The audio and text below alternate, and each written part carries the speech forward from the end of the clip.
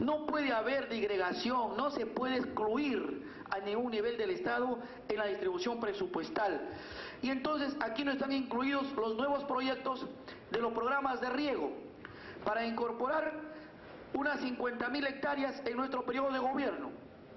O sea, eso quiere decir que aquí lo tiene la Gerencia de Desarrollo Económico todos los programas de riego tecnificado, todos los programas de siembra de frutales, de mejoramiento ganadero, de mejoramiento de café y de chacras integrales, que llega a un costo de 400 millones de soles para poder invertir en estos programas de riego.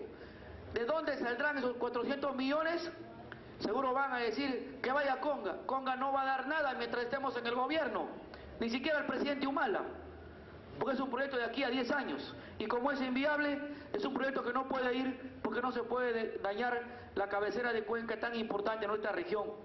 Tenemos tres proyectos mineros en operación, cuatro con Yanacocha, que hay que renegociar contratos, que hay que revisar aportes y enseñarles a las empresas cómo tienen que ser una verdadera responsabilidad social, de inclusión económica productiva y de articulación, y no la de ahora de saqueo irracional. Tenemos aquí esta ejecución presupuestal por toda fuente de financiamiento, que está distribuido entre gasto corriente y gasto de capital este año. Ahí, hasta el día 8 de junio, de todo el gasto del gobierno regional está en 39%. Todo el gasto de la región en este momento, y vamos a compararlo cómo estamos la región Cajamarca con las otras regiones y con, y con los ministerios del país.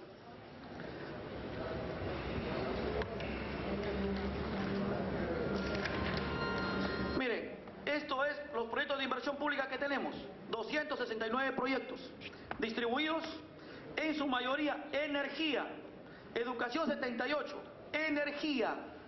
Si distribuimos las dos, si queremos cambiar el modelo de desarrollo, el patrón de desarrollo, ¿qué tienen que tener las comunidades? Energía eléctrica. Entonces, este es un tema de llegar y en la parte de frontera. Nosotros tenemos un compromiso con el gobierno ecuatoriano y en el Tratado de Paz Perú-Ecuador. Y nosotros somos región fronteriza.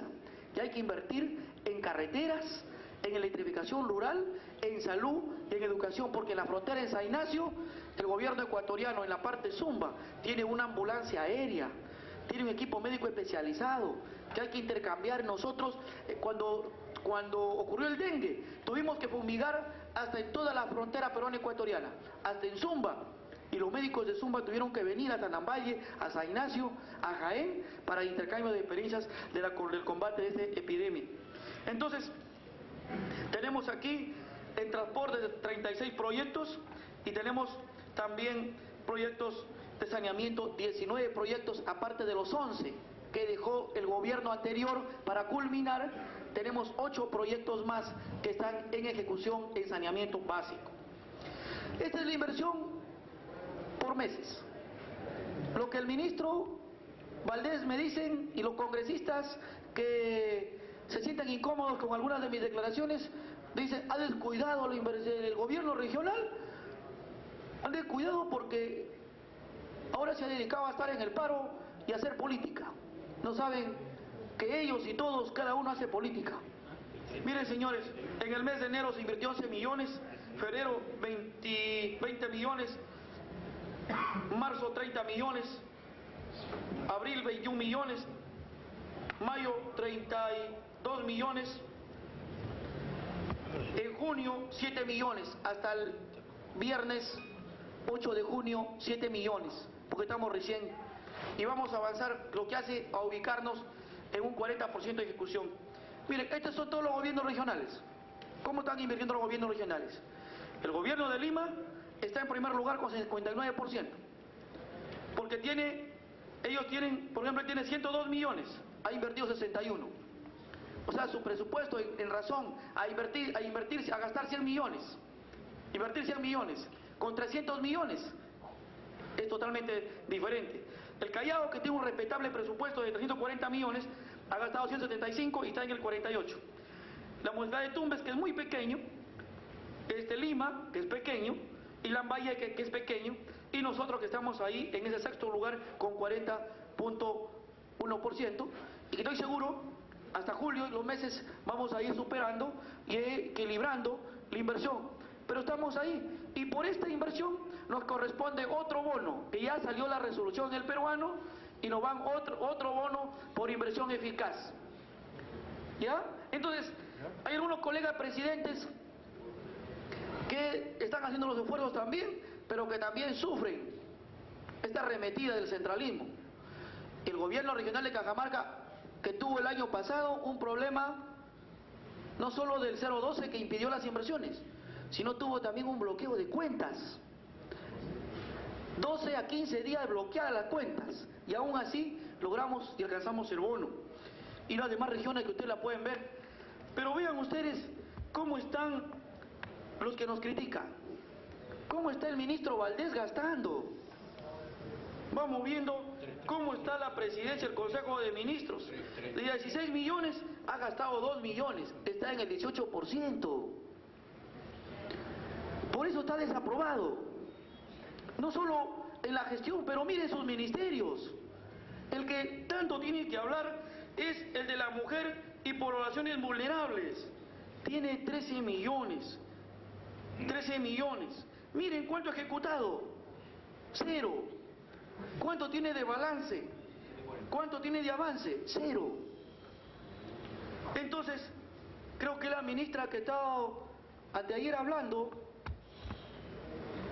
¿cuánto tiene el ministro de Vivienda, Saneamiento, Construcción y Saneamiento, Educación y Salud? 9%. Y yo tengo proyectos de inversión, perfiles, expediente técnico, que le dije en la oficina del, del municipio, primer, señor Cornejo, aquí están mis proyectos de inversión pública. Si no me quiere entregar el dinero a mí porque esté obedeciendo los mandatos de Newman, que me bloquee, entrégueselos a los municipios, porque todos estos expedientes técnicos corresponden a los municipios y a zonas pobres de la región. ¿Cómo está educación y salud?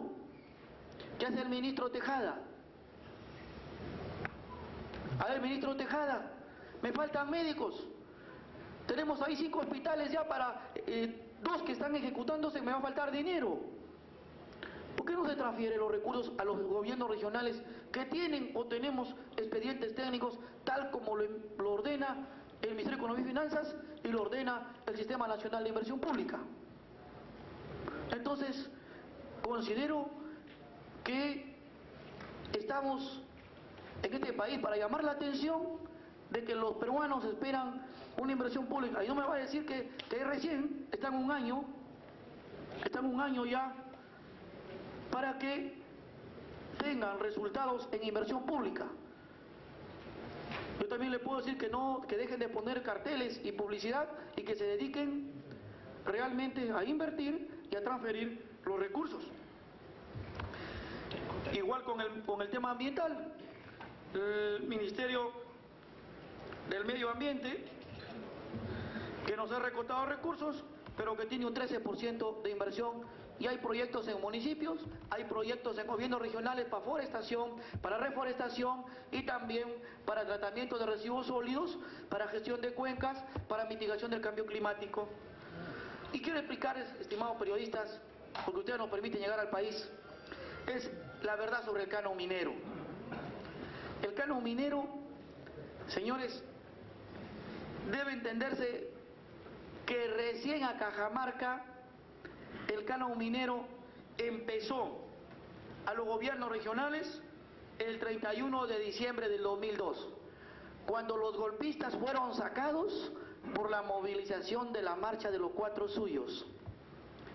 Cuando los golpistas tenían a su gente corrida y cuando el, el gobierno de Paniagua de transición dio un paso a dejar, a dar proceso eh, o convocar al proceso de elecciones regionales, pero ya cuando se había destruido el proceso de regionalización que hoy se quiere retomar con las macroregiones, cuando se había destruido la región oriental del Marañón o las 13 regiones, y para salir del paso, calmar la reacción popular, dijeron que cada CETAR se convierta en región y aparecieron nuevamente el departamentalismo colonial.